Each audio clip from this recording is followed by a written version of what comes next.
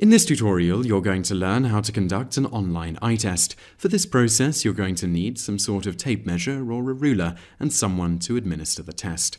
This is a great way to measure how good your eyesight is without having to go to the doctor's office or purchase an exam. First, you are going to need to navigate to the link that can be found below this video.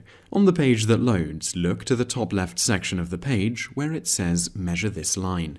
Measure this manually with a tape measure or ruler.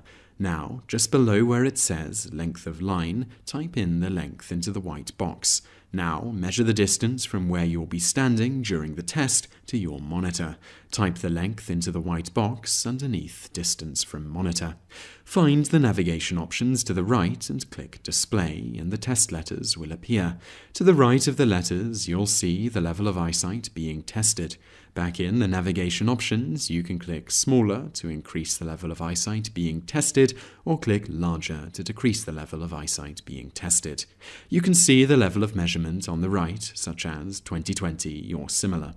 Now that you know how the settings work, it's time to start the test. Have someone sit by the computer while you stand at your measured point of distance from the monitor. Attempt to read the line. If you want to test a higher level of eyesight, then have them click smaller. If you want to test a weaker level, have them click larger. If you want to retest the same level with different letters, just have them click display.